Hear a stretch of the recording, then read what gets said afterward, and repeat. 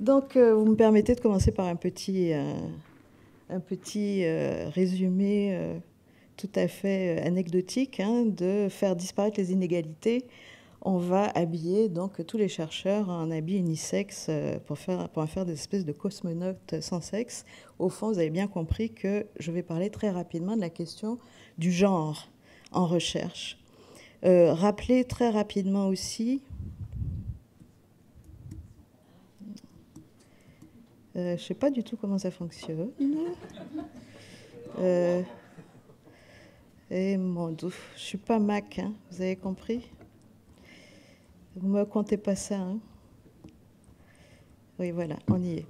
Donc, euh, rapidement, comme le disait le Conseil des académies canadiennes, malgré, au cours des dernières années, les femmes sont de plus en plus nombreuses au sein de la population étudiante en général, cependant, elles sont toujours encore à la remorque au niveau euh, du bassin des professeurs.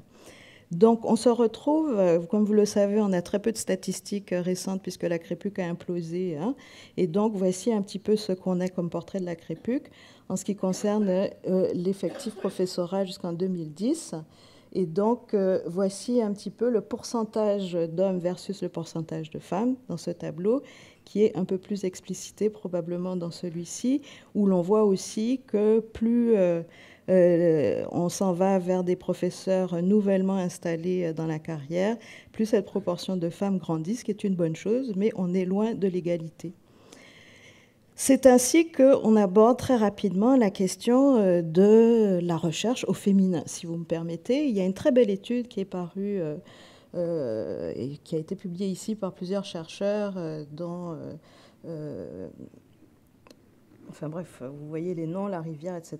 Et je retiens juste la chose écrite en rouge de cette citation sur la productivité et l'impact scientifique selon le genre. On dit les données sur le financement de la recherche montrent que dans chacun des trois domaines, les femmes reçoivent moins de financement que leurs collègues masculins. Et cette différence est très importante dans le domaine de la santé, où le financement moyen des hommes représente plus du double de celui des femmes. Donc euh, ce n'est pas seulement une question disciplinaire. Ils ont aussi associé à cet article de très jolis tableaux, et je passe très rapidement là-dessus. Euh, si vous voyez bien, euh, les lignes en bleu foncé représentent les publications des hommes, en, bleu clair celles des femmes. On voit, selon les différents domaines de recherche, systématiquement un moins grand euh, nombre de publications de femmes et pareil aussi euh, au niveau du nombre d'articles. L'analyse qu'il propose quant à cette différenciation entre les sexes est la suivante, on va y aller vite.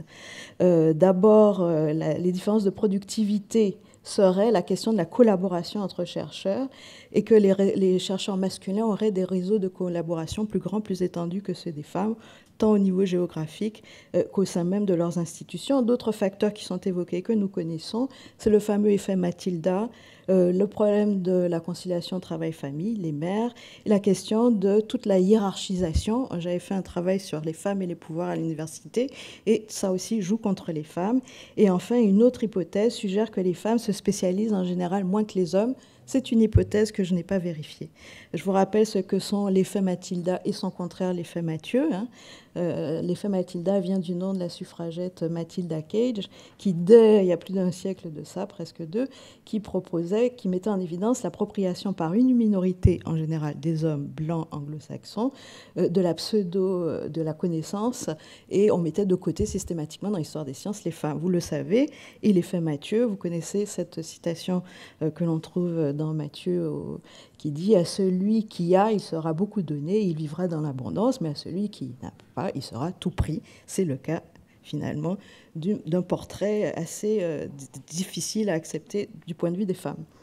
Donc il y a aussi euh, d'autres questions qui se posent, hein. c'est les pratiques au sein même des institutions et des établissements, euh, le fameux modèle traditionnel élitiste, la question de l'accueil des femmes et des groupes minoritaires en général, je passe. La FQPPU euh, s'est proposée donc euh, d'engager une enquête en deux volets euh, qui va bientôt être publiée et dont je suis la responsable, on l'a fait en deux volets. On a fait donc une donnée de cueillette relative à l'octroi des subventions des bourses de recherche pour les professeurs et les professeurs. C'était un travail à la mitaine, on est allé chercher dans les listes, on a systématiquement ciblé, les, notamment pour les recherches en équipe, celui, le nom qui figurait patron de la subvention, si vous permettez. Hein. Et donc ça a été un peu comme ça. Et d'autre part, la deuxième partie de l'enquête a consisté à un sondage que certains d'entre vous ont peut-être rempli. Euh, rapidement, euh, je, situe un peu les choses. Euh, on sait qu'au niveau euh, de la, distribution des genres parmi les disciplines au Canada, les professeurs sont, femmes sont mieux représentés dans les sciences humaines, sciences sociales. Et on a vu tout à l'heure ce matin que traditionnellement, ce sont aussi celles qui ont le moins d'argent ça tombe de soi. Donc dans le premier volet, je vais aller très vite parce que Mme Berthollet ne va pas être contente. Il s'agit des octrois de subventions. J'en ai fait un certain nombre pour, parce qu'on s'est arrêté dans les années 2013, mais je vais insister sur un tableau en particulier, notamment euh, euh, pour le CRSNG. Euh, le commentaire est le suivant il pourrait être valide pour tout ce qui est dit science pure euh, ou purifiée, comme dirait ma collègue.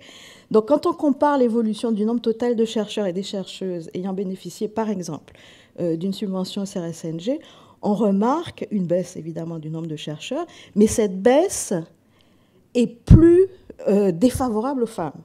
C'est ça qui est terrible, c'est-à-dire que tout le monde perd, mais proportionnellement, les femmes y perdent plus. Donc je pense que c'était une chose à constater. Et je vais avancer sur le deuxième volet, c'est-à-dire le sondage qui a été euh, donc euh, euh, réalisé et qu'on est encore en train de, faire aller, qui est très intéressant. Le sondage s'appelait Recherche et genre, et on a eu un des réponses où les femmes ont été plus nombreuses que les hommes à répondre. C'est tout à fait intéressant que dès qu'on dit genre, les hommes ne se sentent pas concernés, mais je passe.